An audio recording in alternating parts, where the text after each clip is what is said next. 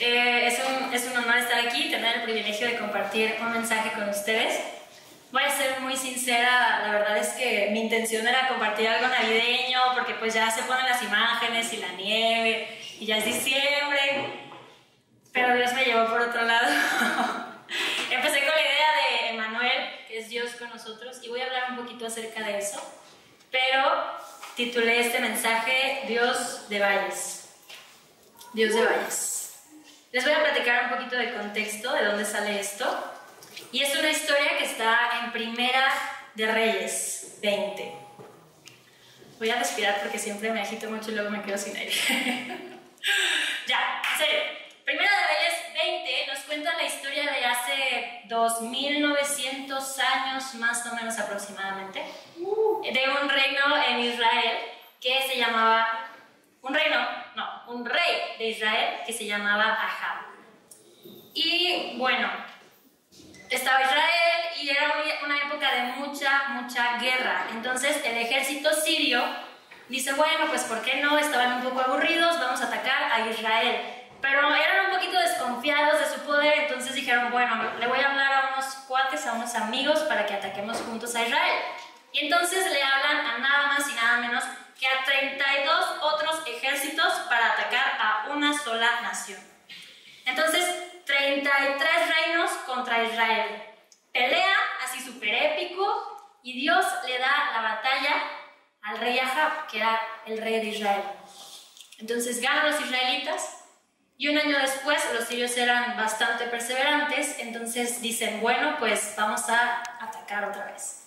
Juntan otra vez a los 32 ejércitos, a los 32 reyes, se ponen en la mesa redonda, ya saben, y empiezan a hablar. A ver, esta vez vamos a hacerlo bien. ¿Qué es lo que hicimos mal la última vez? Y empiezan a pensar, empiezan a hacer una estrategia, un plan de guerra, un plan de ataque. ¿Qué es lo que nos salió mal la última vez? Y entonces uno, uno de los oficiales, dice en Primera de Reyes 20:23, los dioses de los israelitas son dioses de las montañas. Por eso ganaron, pero podemos vencerlos fácilmente en los valles. Y entonces cambiaron su estrategia. Pensaron, bueno, los dioses de los israelitas, que ellos no sabían que era un solo Dios, que es nuestro Dios, los dioses los salvaron pues porque estaban en la montaña. Pero si los atacamos en el valle, en donde son débiles, en donde los podemos rodear, su Dios no los va a salvar. Su Dios no los va a ayudar porque su Dios es Dios de montañas. Y entonces empezaron a crear toda una estrategia basados en eso. Y entonces se preparan para atacar y el versículo 27 dice que Israel pues también reunió a su ejército, montó las líneas y salió a pelear. Pero el ejército de Israel parecía dos pequeños rebaños de cabras en comparación con el inmenso ejército enemigo. Estaba muy desbalanceado. Eran 33 naciones contra Israel. Eran unos 100.000 guerreros contra aproximadamente 7.000, más o menos. Eso se calcula. Entonces, pues estaba bastante desbalanceado el asunto, pero eh, los israelitas no se dan por vencidos y Dios tenía algo que decir. Entonces, en Primera de Reyes 20:28 dice el Señor, por cuanto los sirios piensan que el Señor es un Dios de las montañas y no un Dios de los valles, yo te voy a entregar este enorme ejército en tus manos y así sabrás que yo soy el Señor. Entonces, obviamente, ganaron los israelitas, los atacaron en el valle y de todas maneras ganaron la batalla. Dios demostró que no solamente es Dios en la cima de la montaña, sino que también está con nosotros en los valles. Oramos. Señor, te damos gracias por esta mañana, esta tarde. Gracias porque sabemos que tú estás aquí, que tú estás con nosotros. Gracias porque es tu amor, es tu gracia, es tu bondad la que nos atrae, la que nos trajo a este lugar. Gracias por esta iglesia, por nuestros pastores, por el equipo y cada uno de los servidores que se entrega para que tu nombre sea levantado. Gracias porque venimos aquí para conocerte, para pasar un tiempo contigo, para aprender más acerca de ti y para fortalecernos los unos a los otros. Te pedimos que el mensaje que tú has puesto en mi corazón toque la vida de cada una de las personas que están aquí. Que las palabras que ellos necesitan escuchar salgan de tu boca y no de la mía. Y que tú hagas grandes cosas, como siempre lo has hecho. En el nombre de Jesús. Amén. Entonces, Dios de valles. ¿Qué es un valle? Clases de geografía de la primaria, por favor regresen a mí. O en su defecto, Wikipedia. ¿Qué es un valle? Un valle es ese terreno que está entre dos montañas o entre dos, digamos, paredes muy altas y grandotas. Eso es un valle. Wikipedia dice que es la depresión de una superficie terrestre entre dos vertientes. o sea, es un huequito entre dos paredes muy altas. Eso es un valle, eso es una llanura. Y eh, bueno, la Biblia habla de los valles literalmente geográficos que existían en Israel, pero también habla de los valles como una metáfora de los tiempos difíciles, de la tristeza. Entonces, hoy vamos a hablar un poquito acerca de eso, qué es lo que dice la Biblia acerca de los valles. Y lo primero es que los valles son parte de la vida. Son inevitables, son imparciales y son impredecibles. Siendo completamente sinceros, todos nosotros o estamos en un valle o estamos saliendo de uno, o no lo sabemos, pero tal vez pronto vamos a entrar a otro. Porque esa es la vida. Así es la vida. Y, la Biblia habla acerca de eso. La pregunta no es si vas a pasar por un valle o no, la pregunta es cuándo. Todos experimentamos desilusión, derrota, frustración, traición, decepción, fracaso, dudas, luchas, distracciones, debilidad, desánimo. Todos pasamos por ahí. Incluso viviendo el propósito de Dios en nuestras vidas, aún viviendo en su propósito, aún experimentamos todas esas cosas y más. Deuteronomio 11:11 es Dios hablando acerca de la tierra prometida que les prometió a los israelitas y les dice, es una tierra de montañas y valles. La tierra prometida es una tierra de montañas y valles. Primera de Pedro 4:12 dice, no se sorprendan por las pruebas de fuego por las que están pasando como si fueran algo extraño que sucediera. Es decir, las pruebas de fuego no son algo extraño. Es algo por lo que todos pasamos, es algo por lo que todos experimentamos. No es una cuestión de qué tan bueno seas, de qué tan malo seas, no es un por qué a mí. Es porque somos humanos y es parte de la vida, es porque vivimos en un mundo caído, roto, que no todo se mueve de acuerdo a la voluntad de Dios que es bueno, es agradable y perfecto, aún, aún. Por eso hay enfermedad, hay dolor, hay tristeza. Y no es que Dios nos esté castigando, es que así es la vida. Pero nuestra esperanza, nuestra esperanza es que no vamos a tener que pasar por esos valles solos. Nuestra esperanza no es que Dios los va a quitar, sino que nos va a acompañar en ellos.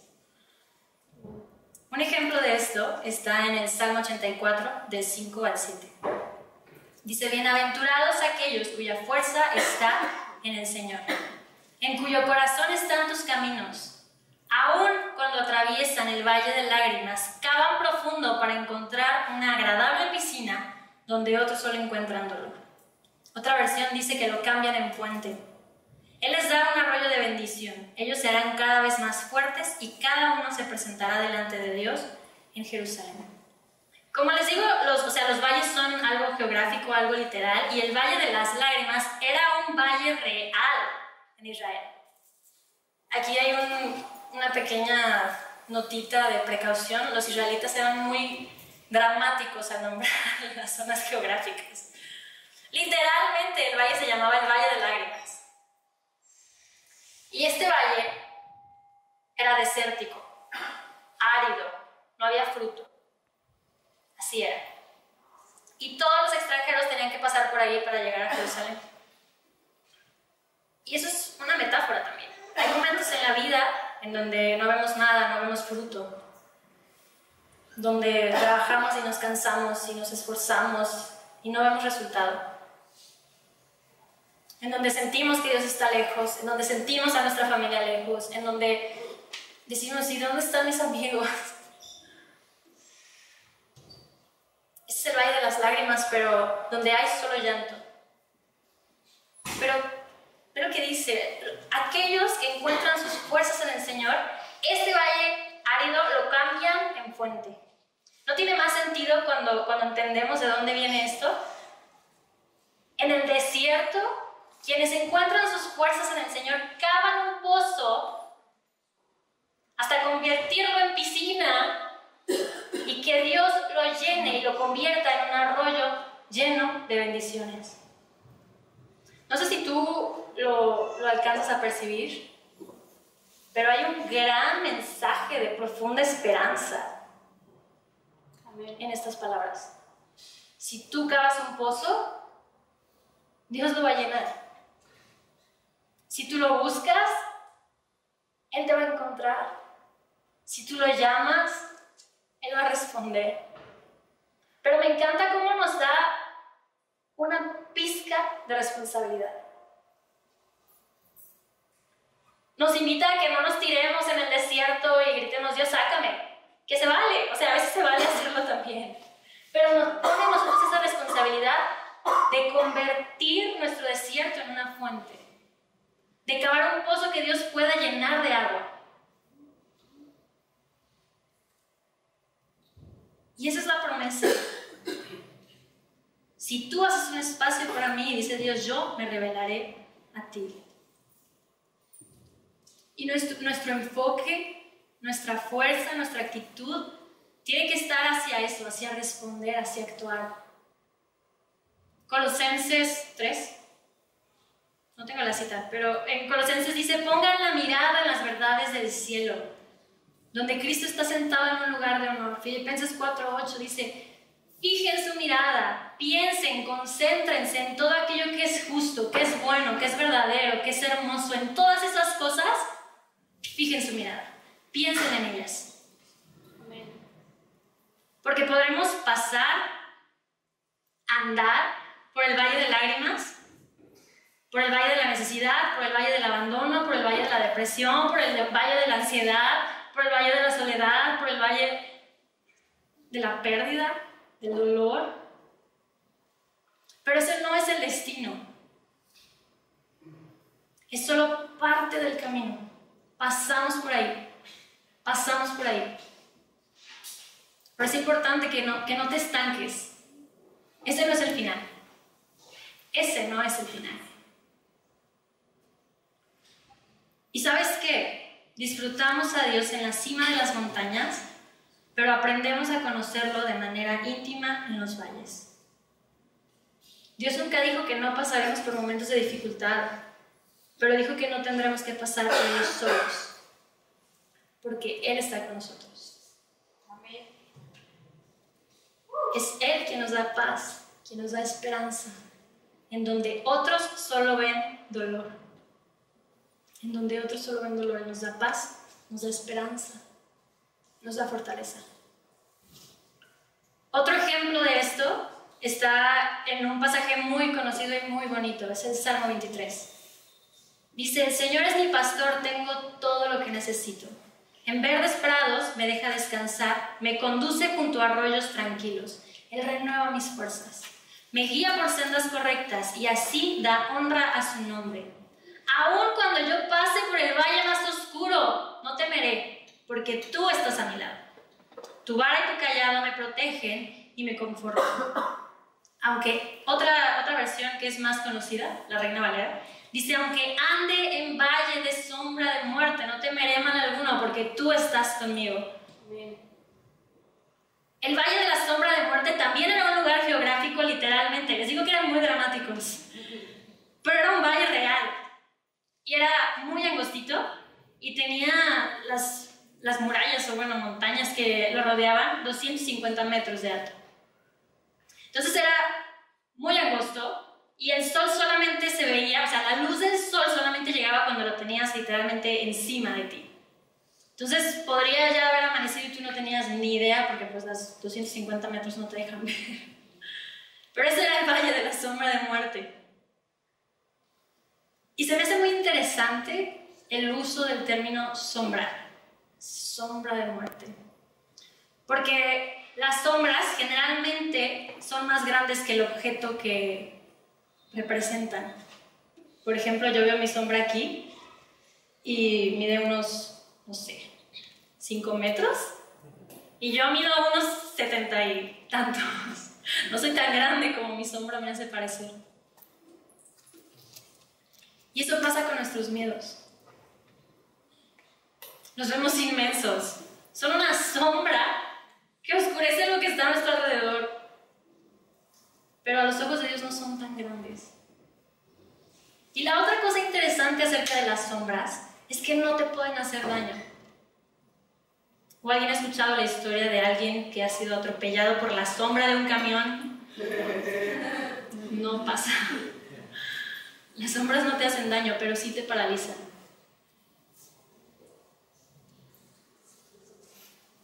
Pero las sombras no existen sin la luz. O sea, el fenómeno físico de las sombras aparece cuando hay una luz. La luz está de este lado y mi sombra está del lado opuesto. ¿Qué es lo que pasa? Que nuestra tarea es fijar nuestra mente en las cosas que son verdaderas, justas y hermosas, como la luz. Si las sombras me están abrumando, creo que tengo que voltear a otro lado. Y del otro lado está la luz. Eso pasa con nuestros miedos. Es importante que volteemos hacia la luz que es Jesús. Y Él promete que está con nosotros. No temeré mal alguno porque tú estás conmigo. No cerca, no a unos metros, conmigo. Conmigo. Y me encanta que Dios cuida de nosotros y todo, pero aquí no está, no está hablando de eso, está hablando de que nos acompaña, de que camina con nosotros, con. Eso significa que acompaña a, con. Isaías 43, dice, cuando pases por aguas profundas, yo estaré contigo.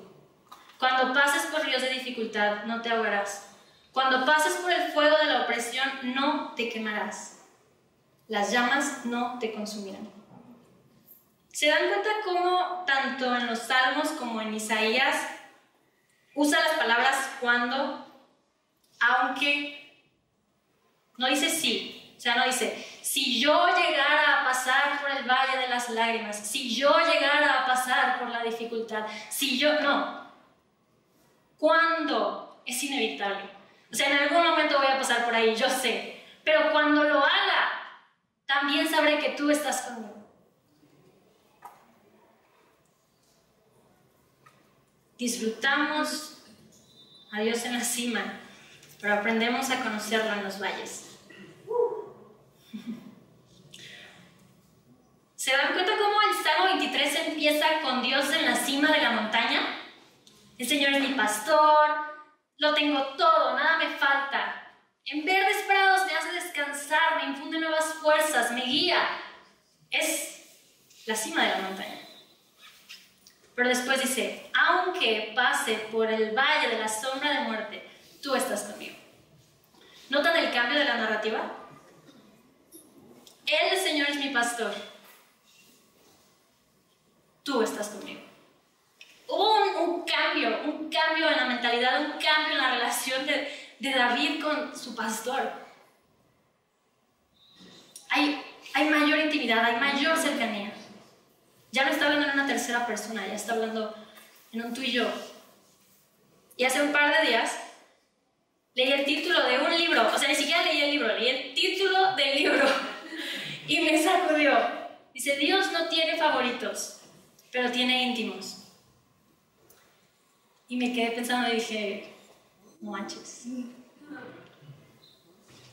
Es, es cierto. Pensémoslo. La Biblia dice que llueve sobre justos e injustos. todos pasamos por dificultad, todos pasamos por momentos buenos. Es cierto. Pero si, si yo tengo una relación cercana con Dios, mi manera de atravesar la dificultad es muy diferente. Es muy diferente. Y hay algo un poquito más profundo aquí.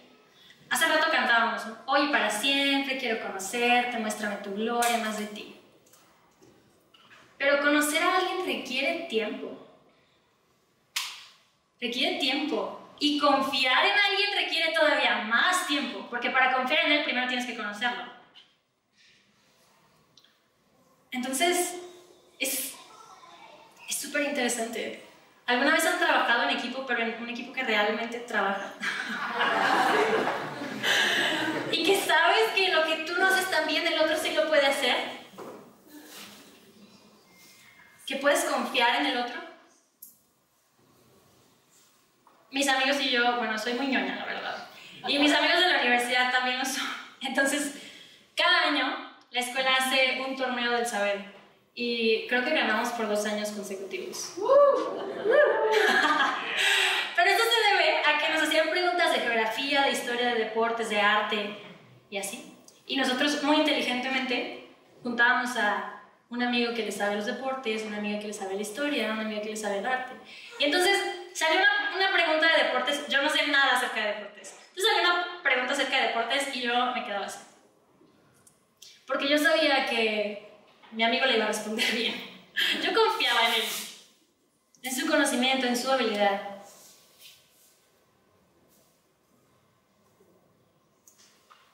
Pero porque lo conozco. Por eso yo podía estar tranquila. Y pensar en las verdades del cielo requiere conocerlas. Confiar en las cualidades de Jesús requiere conocerlas. Conoce las cualidades de aquel que te acompaña. Solo así podrás él. Si yo sé que Jesús es la puerta, ya no estoy en un callejón sin salida. Si yo sé que Jesús es la luz verdadera, la luz del mundo, las sombras a mi alrededor ya no están tan oscuras. Si yo sé que Él es el príncipe de paz, no hay ansiedad que no se arrodille ante Él. Si yo sé que Él está conmigo, no me volveré a sentir sola. Si yo sé que Él no abandona y que Él no se rinde, no me sentiré sola. Él es tu paz en tu tempestad, tu alegría en tu dificultad, tu fortaleza cuando eres débil. Él es todo eso y más. La paz no es la ausencia de la tormenta, no es la ausencia de los valles, la paz es la presencia de Jesús. Eso es la paz. Y tal vez tú no puedas controlar la situación por la que estás pasando, cuando empezó, cómo te afectó, lo que dice la gente, lo que piensan los demás, lo que hacen los demás, cuánto durará. Pero sí puedes controlar qué es lo que escuchas, qué es lo que ves, qué es lo que hablas. ¿Qué es lo que crees? ¿En dónde fijas tu mirada? Fija tu mirada en aquello que es verdadero, que es justo, que es bueno.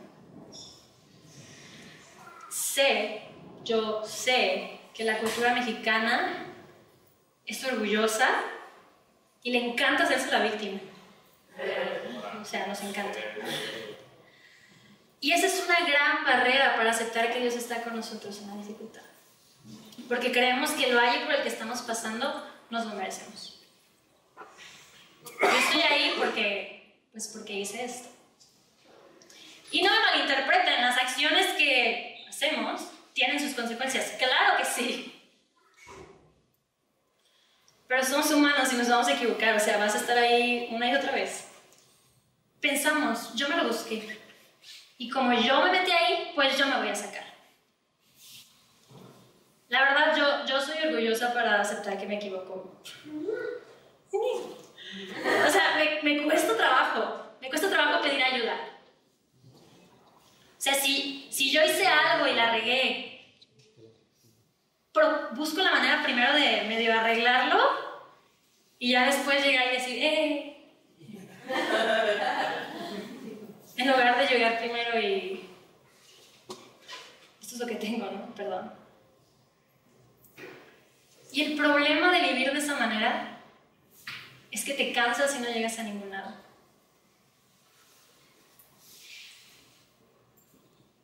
Y tal vez, tal vez sí hay problemas en tu vida que te buscaste. Tal vez sí. Pero Dios está contigo aún en medio de ellos. El Salmo 107 dice, afligidos y encadenados habitaban en las más densas tinieblas por haberse rebelado contra las palabras de Dios, por menospreciar los designios del Altísimo. Hacían trabajos forzados, tropezaban y no había quien los ayudara. O sea, aquí estamos viendo gente que se buscó el problema. O sea, que vivía angustiada porque así vivía, así buscó vivir, le dio la espalda a Dios. Pero no se queda ahí. En su angustia clamaron al Señor y Él los salvó de su aflicción. Los sacó de las sombras tenebrosas y rompió en pedazos sus cadenas. Aun cuando le has dado la espalda a Dios, aun cuando te has dado por vencido, Él nunca se da por vencido contigo. Él aún está contigo. Y Él transforma el valle de aflicción en puerta de la esperanza. Eso dice Oseas. El valle de la aflicción en puerta de la esperanza el Dios de las batallas, el Dios de los ejércitos, el creador del cielo y la tierra. Él está con nosotros, con nosotros, con nosotros. Jesús, al nacer como hombre, el ángel, bueno, en una profecía, y el ángel dice, es, lo llamarán Emanuel, porque es Dios con nosotros. Dios con nosotros, no contra nosotros con nosotros. Quiero que, o sea, ¿por qué repito y repito y repito la frase? Porque, porque hay mucho poder en esas tres palabras. Dios engloba su majestuosidad, su majestad, su poder, su gloria, su grandeza con nosotros. Su gracia, su amor, su misericordia, su abrazo. Dios con nosotros nuestra seguridad, nuestra fortaleza, nuestra esperanza. Quiero terminar leyendo el, Salmo 23 completo. Dice, el Señor es mi pastor, tengo todo lo que necesito. En verdes prados me deja descansar, me conduce junto a arroyos tranquilos. Él renueva mis fuerzas, me guía por sendas correctas y así da honra a su nombre aun cuando yo pase por el valle más oscuro. No temeré, porque Él está conmigo. Tu ara y tu callado me protegen y me confortan. Me preparas un banquete en presencia de mis enemigos. Me honras ungiendo mi cabeza con aceite. Mi copa se desborda de bendiciones. Se desborda. Me encanta esa imagen. Me encanta esa imagen. Se desborda. Ciertamente tu bondad y tu amor inagotable me seguirán todos los días de mi vida, y en la casa del Señor viviré por siempre. Tu bondad y tu amor inagotable me seguirán todos los días de mi vida. Inagotable, amor inagotable. ¿Qué quiere decir? Que no se agota, que no se cansa, que no se rinde, que no se acaba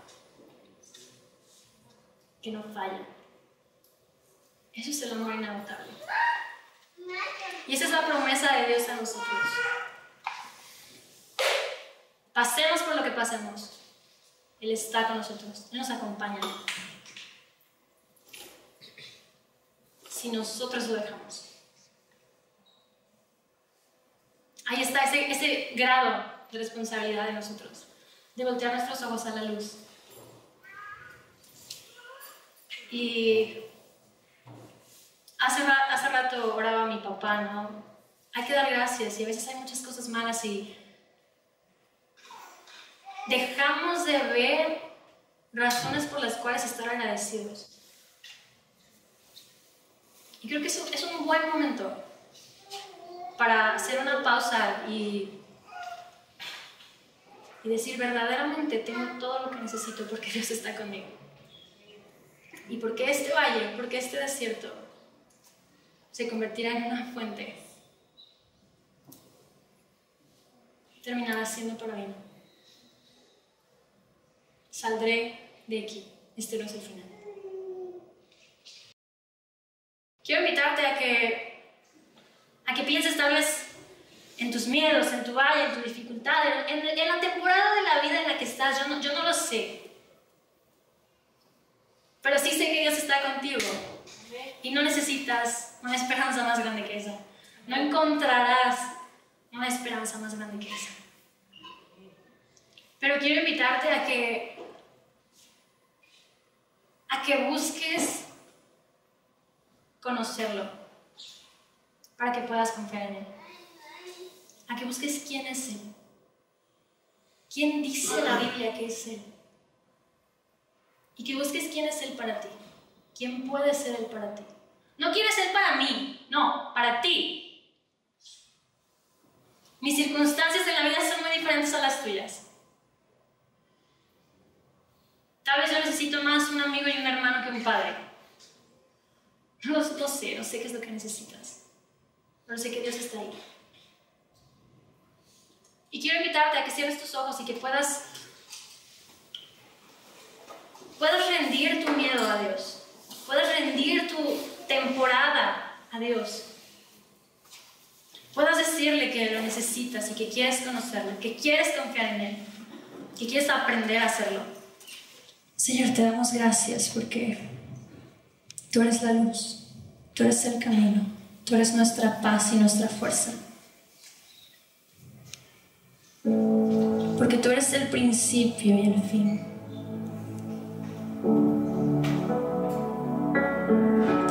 Porque tú prometes estar con nosotros. A tus discípulos les dijiste que estarías con ellos hasta el fin de los tiempos. Nosotros creemos eso también para nuestras vidas.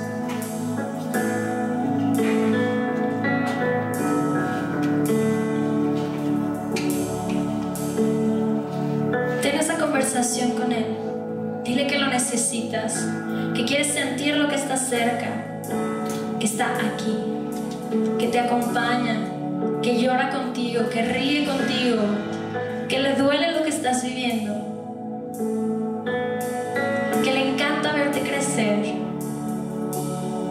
que le encanta cuando pones tus ojos en Él.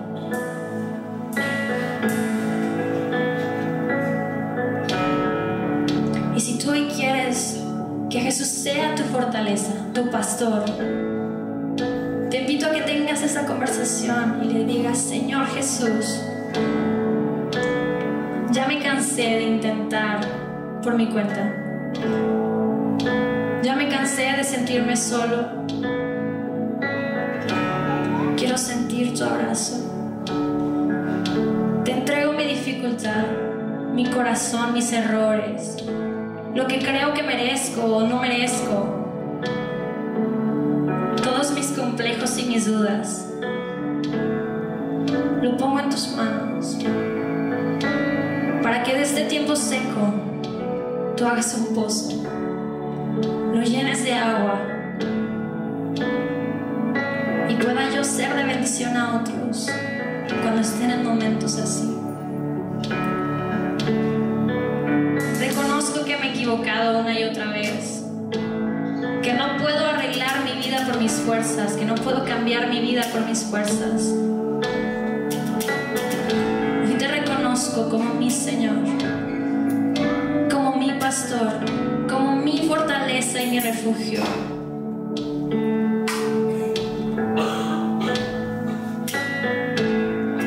Gracias porque estás aquí, porque eres Dios de los valles,